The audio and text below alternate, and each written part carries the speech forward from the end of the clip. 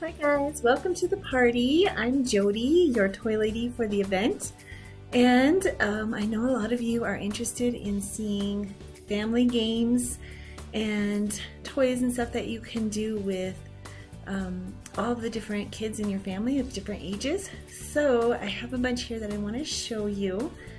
Okay, got a bunch of my favorites out here on the table. So this first one is Stacking Owls and um, you can see right away it's a great toy for little kids because it has colors, it has numbers, um, so you can use it for learning to count, learning to add, um, doing patterns. but it's also great for older kids because it's a building toy and it teaches so much about balance. Um, you can make tons of different fun um, uh, formations with your owls and get really creative. And I have had older kids just go crazy over these at my booths. So those are really fun for all ages. And they, they are 100% wood, beautiful quality. Okay, Hexacus is another one that like you look at it and you can tell it's a good one for little kids um, with the colors and the stacking.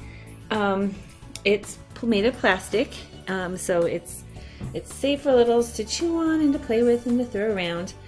But this one is fun even for adults because it has so many different things that you can try to make um, with the form like different formations and it gets really challenging. So this is one that is so great for really every age. Uh, is another one like that it's not going to be for little tiny kids because it has smaller pieces. But again, it's, you know, it has all of these plastic like um, Tetris pieces that you can create um, different formations with. And it starts with 2D things for the younger kids to make and then works up to really complex 3D images for them to try to create. That one is Pentominoes. Mental Blox again. We have so many of these great building thinking puzzle games. this one comes with all of these different shapes with different colors and patterns on them and then it has cards that pro progressively get harder so starts out really easy and it asks you um, to create the picture or copy the picture that it has on the card and then also asks you questions about them like what attribute do all of these blocks have in common? And then here's one in the middle. Oh, rearrange the blocks to make two five block towers with the pyramids on the top. So you can see it's getting more and more complicated. Just stacking them up and following the directions then we have Mosaic Mysteries. This is one of my top, top favorite. This is the heirloom edition. and this is beautiful even for like, you know, grandma and grandpa's house. It's wooden. Um, it's two-sided, so that makes it extra complicated um, or extra layer of difficulty. Um, and it has, again, all of these different patterns that you can try to make. Um, and it's starting from easy to harder. And these blocks are actually, you can make 3D things with them too. So littles can play with them just as blocks. Grandmas can play with them by the fireside. Love that one.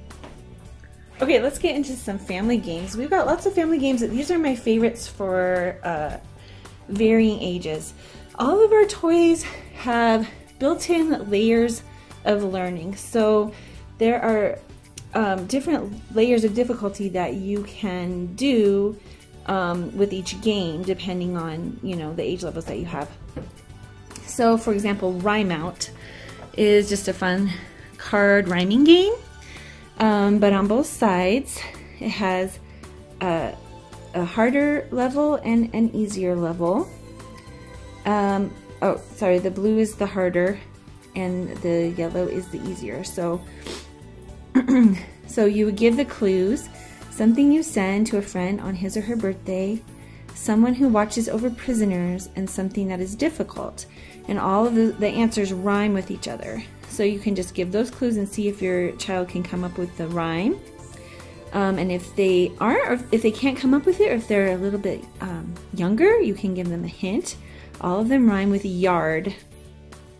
And so with my little daughter, who's three, four, she just turned four, um, I would say, okay, I would just do one at a time. Okay, something that you send to a friend on his birthday that rhymes with yard. And so then she would come up with card. And for my older ones, I would give them all three. And then if they couldn't get it, then give them the hint. And then on the back side is for adults, and these ones get really hard. So it's really good for lots of different ages. Okay, let's look at Word on the Street, Junior here. It's this long board. Um, this one is so much fun and it really can get very challenging, but you play it as a team. So you can have younger kids with older kids together playing it. And so what you do is you have, um, well, you'll have letter tiles on each letter and one team on one side, one team on the other side, and then you read the card, or one team gets a card, something fun. And they can make up any word that they want that goes with this card. So something fun, maybe skating. And so then they would move over their tile for each letter to their side. And then the next team gets a turn and they'll move their their tiles over this way. And once the tiles come off the board, then you get to keep them.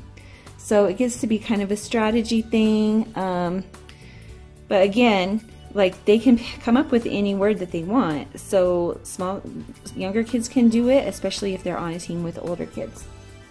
And again, there's easier side on this, or easier level on this side of the card, and a harder um, level on the backside of the card for different ages. Okay, Adventures in Storyland.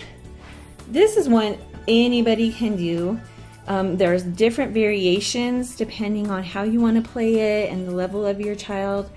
Um, but basically, you choose a um, scene card, and there's whole bunches of different fun scenes for your story. And then you choose an object card, a creature card, and a character card, and you come up with whatever story you want. And again, there's different ways you can go back and forth and create a story together or um, however you want to play it. But that was a really fun, imaginative one. We have tension, kids versus adults. My kids and I love playing this one. So you have this board that you're trying to get, get around to the finish. And you have cards that you will put into your little thing here. so again, it has Things a pirate would say. This one is the adult side, so it has uh, ones that aren't quite so easy. And then on the kid side, it's pirate things. So that one should be easier for the kids to answer. But on each one, there's a few, a few easy and a few difficult um, answers.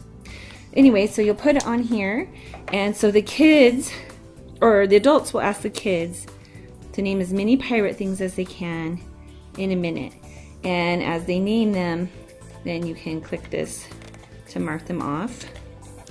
And however many they get, they can move that many, many spaces on here. Um, and then when it's the adult's turn, then the kids will ask the adults the question.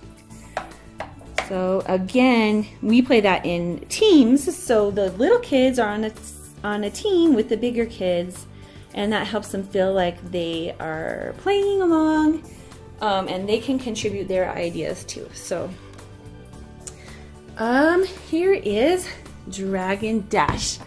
Another really fun fun one and this one is a cooperative one. So I love that my three-year-old can play with my nine-year-old and my six-year-old all together on a team. Um, and they're working together and trying to figure out the best way to create this path from this side to the end before the dragons block the path. Um, so you'll roll the dice, and it's also good for math because it's teaching you about the grid.